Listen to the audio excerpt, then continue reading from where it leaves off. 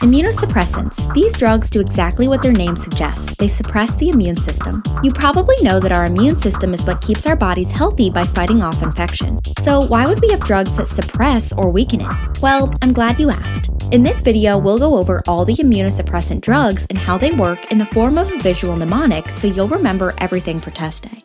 Welcome to Pixorize's biggest motorcycle racing competition where our champion has just won the race. Things got pretty hairy in this race though. Just take a look at that motorcycle's broken windshield. Here at Pixorize, we use a shield, or in this case, a windshield, to represent the immune system. Because, like a shield, the immune system works to protect the body by defending it against infections and the like. But in this case, the windshield is broken because we are talking about medications that weaken or suppress the immune system, fittingly called immunosuppressants. Let's move on to learn some of the key drug names of the immunosuppressants that you should be familiar with. You may not think of motorcycle racing as your typical sport, but trust me, to the motorcyclists, this is the best sport around. The name of this race is the Cycle Sport, and only the top cyclist athletes were invited to attend. By the way, the word cycle sport sounds a lot like the name of our first immunosuppressant, cyclosporine. Get it? Cycle sport for cyclosporine? Okay, okay, let's keep moving. Looks like the windshield broke because it was hit straight on by a very sharp tack, shattering the windshield. Use this tack to help you remember the drug name tacrolimus, because tacrolimus literally starts with tack, right? It's customary at events like this to hear a quick interview with the winner of the race. Just lean into that microphone there. But you bet that this microphone actually has a deeper meaning. In fact, the microphone is also our symbol for the drug mycophenolate. Get it? A microphone for mycophenolate? Now that we know the names of the most important immunosuppressant drugs, let's move on to learn about when they are actually used in the clinical setting.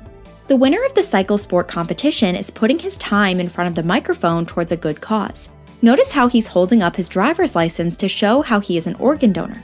That's right, he's using his stage time to encourage others to be organ donors. Which reminds me, the immunosuppressants we just learned are often prescribed to people who have recently had an organ transplant in order to prevent organ transplant rejection. You see, the immune system is designed to attack any foreign objects that enter the body viruses, bacteria, and new organs from other people. To stop our immune systems from rejecting a transplanted organ, we can give an immunosuppressant drug that works to weaken the immune system and prevent it from attacking the new organ. In short, just remember that immunosuppressants are used to prevent organ transplant rejections. The winner's competitor is not looking too happy. In the race, the other man was actually ahead the whole time. That is, until his motorcycle overheated and caught on fire. Luckily, a fire extinguisher was on hand to put out the flames. By the way, at Pixorize, we use a fire extinguisher to symbolize anti inflammatory drugs, because a fire extinguisher puts out flames just like anti inflammatory drugs put out inflammation. Get it? Immunosuppressants can be used to reduce inflammation, treating several types of autoimmune diseases such as rheumatoid arthritis and psoriasis. However, this is a pretty rare use case for these drugs because immunosuppressants have quite a few side effects. Speaking of side effects, let's cover a few of these next. One of the first side effects we should mention is a direct result of the immunosuppression we spoke about earlier, since suppressing the immune system comes with a greatly increased risk for infection. Let's cover a few of the less obvious side effects, shall we? Like you would expect at the finish line of a big race, there is a table full of snacks and drinks for the participants. Unfortunately, they are out of grapefruit juice as evidenced by this sign here. You know, that actually brings up an important nursing consideration for immunosuppressants. People taking immunosuppressants should avoid grapefruit juice. That's because grapefruit juice can alter the metabolism of drugs in the body to put the patient at risk for drug toxicity.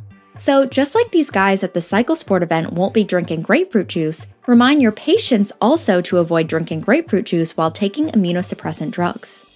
The winner of the cyclosport race here is acting as if his success is no big deal. Just take a look at how he's casually blowing a big bubble with his bubble gum.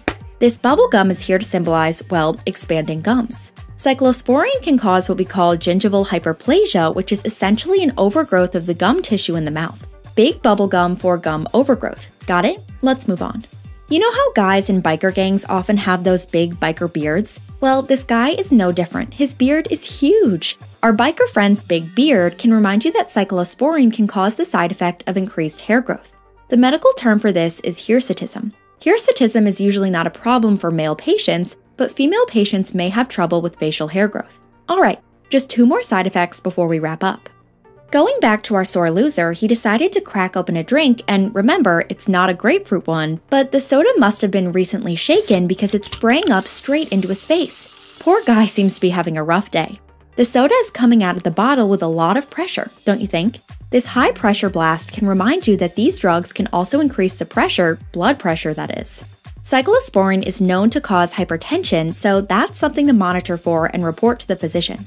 In his surprise from the soda spray, the man bumped into the table, sending a bowl of jelly beans falling to the floor. By now, you probably already know that we use kidney beans as our recurring symbol for the kidney. So these falling kidney beans represent falling kidney function or kidney toxicity. Cyclosporine and tacrolimus are both notable for their ability to cause severe kidney damage. Keep an eye on those kidney function labs like BUN, creatine, as well as the amount of urine output for patients taking these drugs. Alright, that's all for this mnemonic on the immunosuppressants. Let's recap. The immunosuppressants are drugs that include cyclosporine, tacrolimus, and mycophenolate.